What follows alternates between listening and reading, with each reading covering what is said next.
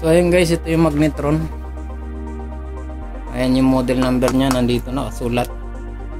Meron din malaki nito, mas malaki pa nito. Ayan. So ingat lang tayo dito sa magnetron guys. Itong kulay purple na to, ito ay napaka dangerous yan. Napaka delikado yan. Um, ano siya,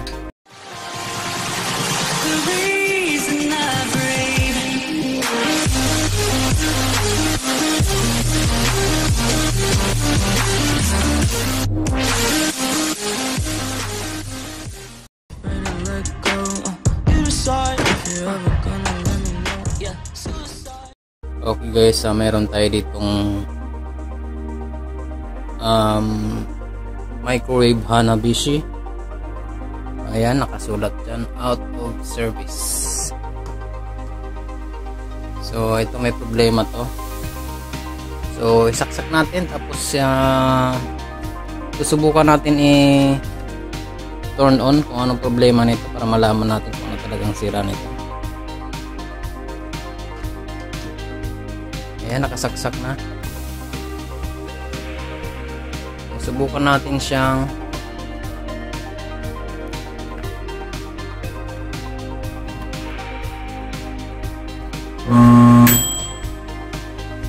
So ayan guys, kung maririnig mo napaka lakas ng ugong niya.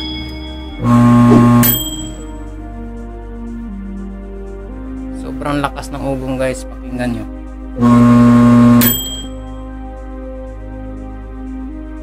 Hindi maganda yung tunog niya. Tunog pa lang ay may problema na talaga. So, hindi mo yan pwedeng hayaang ganyan dahil sigurado magkakaroon ng lalong malaking problema sa loob kung tuloy-tuloy mo yan, hayaan mo siyang matakbo na ganyan naman ang tunog niya, kakaiba hindi maganda yung tunog parang akala mo may sasabog sa loob So, may problema talaga. Tingnan mo ulit. Tingnan natin ulit. Kahit dito lang sa 1 lang. Tapos pakinggan natin yung ugong niya.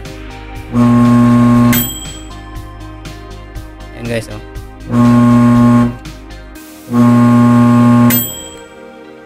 Sobrang lakas ng ugong.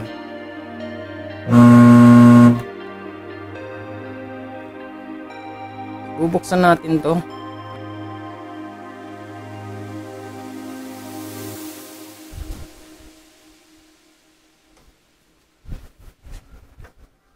So ayan guys, ito yung loob ng microwave natin.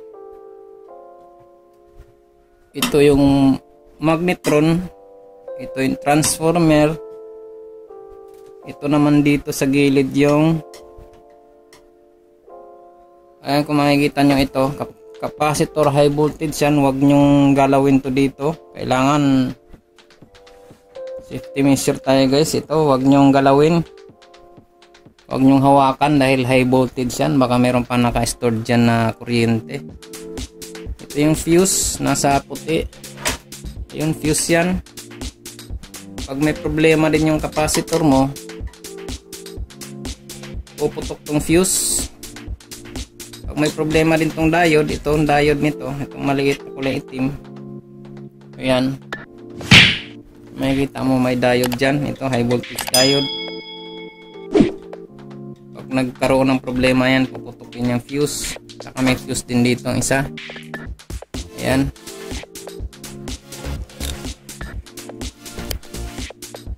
Ayan may fuse dito. Pag yan pumutok malamang may problema ang inyong capacitor. Or diode. Ito yung diode nya ayan team lang yung mga component na madalas masira sa microwave. Itong magnetron capacitor, diode, fuse dalawang fuse, may fuse dito main fuse, ito. Kailangan pag nagpalit ka ng fuse ay tama din yung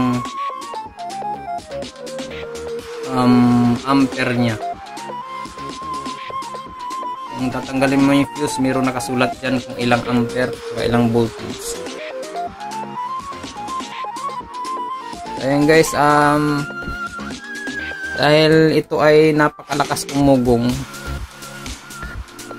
so tingin ko talaga dito eh itong magneto na may problema.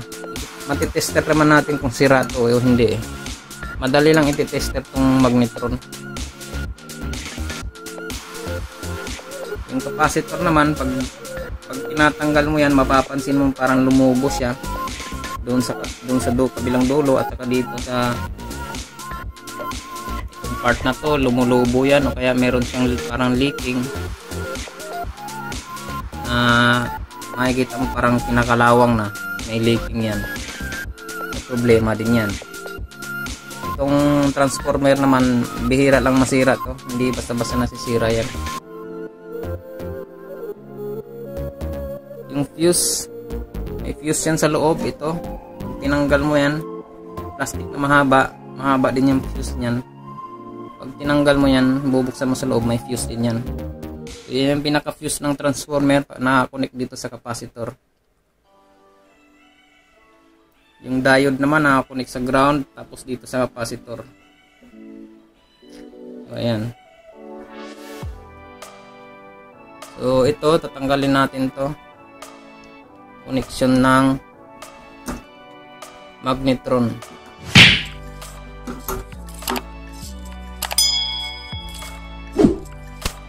Tanggalin natin tong magnetron guys kasi ito yung una nating i-test kasi ito yung pinaka duda ko talaga. So bubuksan natin tatanggalin natin to. So ayun guys ito yung magnetron ayan yung model number nya nandito na sulat. Meron din malaki nito mas malaki pa nito. Ayan. So ingat lang tayo dito sa magnetron guys. Itong kulay purple na to ito ay napaka dangerous yan. Napaka delikado yan. Um, ano siya? Uh, pag nabasag yan hazardous yan nakakasama sa kalusugan yan pag naaamoy natin. Ito pag nabasag. So ingatan lang natin to. Wag natin pag uh, basta bastang pag-aralan. Or wag natin bastang basta bastang baklasin. Yan, so ang loob nito ay parang coil lang naman yan dyan na wire. Malaki. Binuksan mo yan. I-tester natin to. Madali lang i-tester to. Yung isang dito. Tapos to ground. Ganun lang. Isang pin to ground. Ganun. I-tester natin to ng tester. Okay guys, uh, meron tayong tester dito, analog tester. I-sit lang natin sa times 1. Kaya times 10, ang importante naman, naman dito ay continuity. Ayan kung titingnan mo, mapalo siya. Mapalo yung tester doon. Continuity lang yan. Ngayon ang gagawin natin, itong black probe, negative probe. Ilagay lang natin dito sa body. Dikit lang natin sa body yan, ganyan.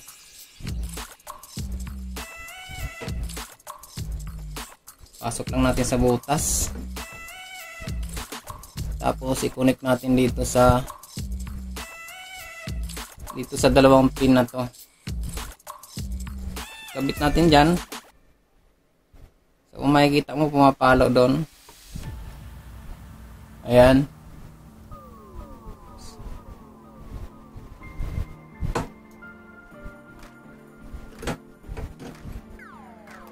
So makikita mo pumapalo siya. Ayan guys, naka zero talaga yung connection niya. Pati sa kabila, ganun din. So shorted siya. Shorted to guys.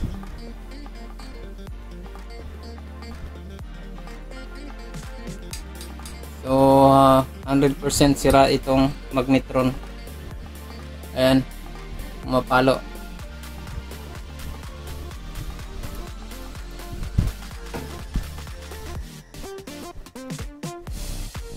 Pag dito naman syempre papalo yan kasi parang coil yan sa loob. Ito guys, mayroong bago. Bago ito, bago replacement, bagong bili. So, ito yung defective. Ito yung bago.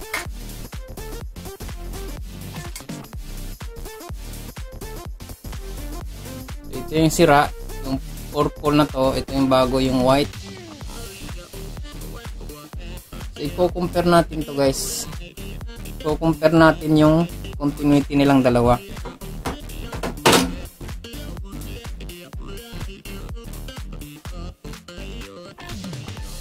So ayan i-compare natin ang pagtitest nito. Yung isang probe dito sa ground dito umapalo pumapalo dito sa kabila hindi siya pumapalo so hindi rin pumapalo. So yan guys. Ang kita nyo hindi pumapalo. Sa kabila ito pumapalo. Pumapalo. Meron siyang reading. Dito. Hindi pumapalo. Walang reading. Ito yung good. Ito yung bad. Effective. Brand new. So, ipapalit natin itong brand new para magiging okay ulit siya. Ayan so hindi man sila magkaparehas ng model number. Pero kung magkaparehas ng lakihan sila at uh, swak yan sila yung mga butas niya dun sa pinag-iskruhan ng microwave yung body ng microwave kung parehas yung laki pwede yan siya kahit di magka parehas yung model number nila pwede yan i-replace. So ikakabit na natin tong bago. Tabi na natin tong uh, defective.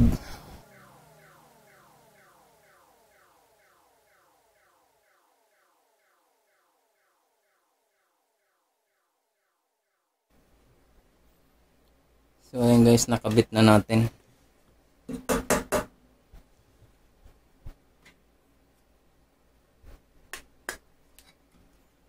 Kabit na natin yung bago.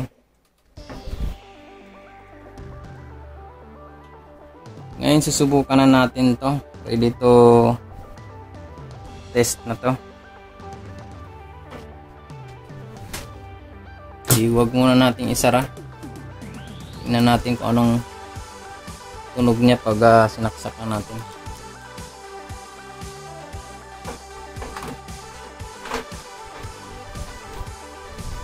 Ayan, naksaksak na.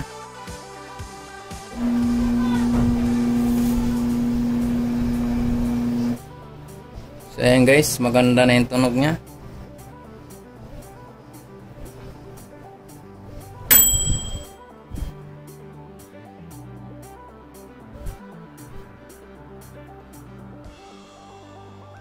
um, mahina na lang yung sound niya hindi na siya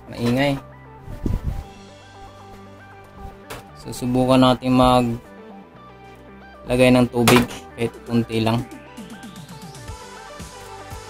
Ito guys tubig. Uh, alisin muna natin to kasi wala naman siyang plate dito. Lagay lang natin dyan.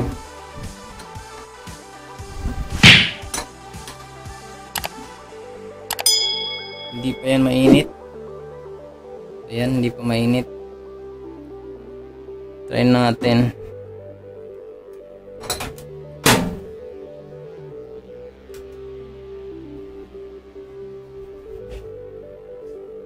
Try natin kahit 1 uh, ah, minute lang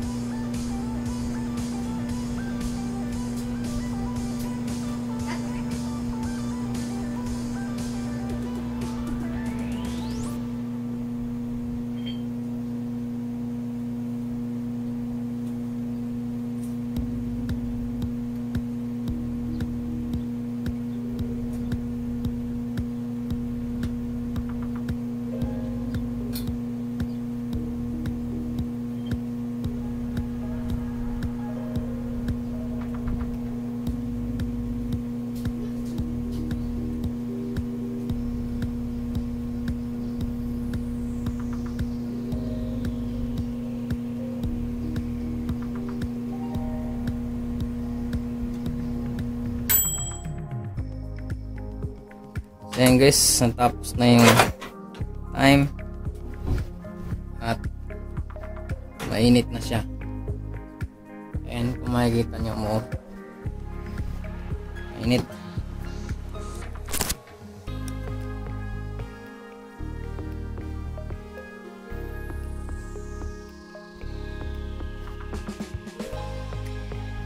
Hindi nakikita yung Mainit na guys, mainit. Hindi lang masyado nakikita yung parang ano. So ayan nakakapag-init na siya.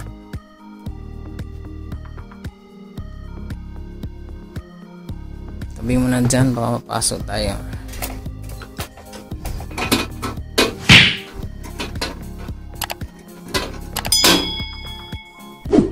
ayan mamaya sa babalik na lang dito nila yung ano plate nya medyo maugong lang siya konti kasi wala naman takip pa naka-open pa yan kaya ganun normal lang yung ganong klaseng tunog. Hindi katulad kanina nung kinabit natin to. Hindi katulad kanina nung nakakabit pa tong original nya sobrang lakas ng ugong talaga kala mo sasabog sa loob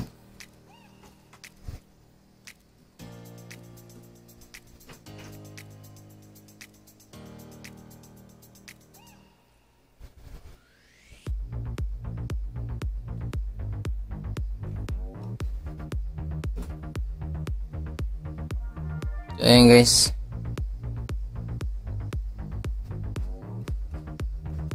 Mainit yung magnetron.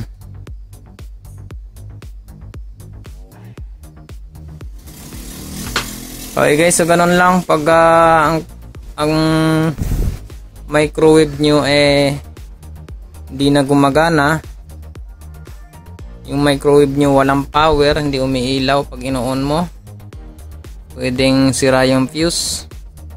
Yung fuse dito, yung fuse dito. Yung maingay yung microwave nyo pwedeng capacitor pwedeng sira din yung diode saka itong magnetron. Yung kaso nito ang problema nito ay sobrang lakas ng ugong. Dahil dito shorted ang magnetron nya ngayon pinalitan natin ng bago. Ayun okay na siya dito guys wala naman masya hindi, lang hindi yan basta basta nasisira dyan banda kasi ito. Bihira lang ma switch din to timer. Bihira lang masira yung mga yan. Kadalasan nasisira itong mga to dito. Pag nasira ito ibig sabihin may sira din dito. Puputok lang yan kung may problema dito. Kahit ilang beses mong palitan yan ng bago kung may problema nito puputok at puputok din yan. Ulit-ulit nang puputok yan hanggat di mo napapalitan yung mga sira dito. Ayun yung ilaw nya pag napundi yan pwede mo rin palitan yan. So ayun guys ganun lang guys. Sasara ko na to. Ganun lang ang pag troubleshoot ng microwave. So ayun guys. Thumbs na tayo dito kasi sasara ko na to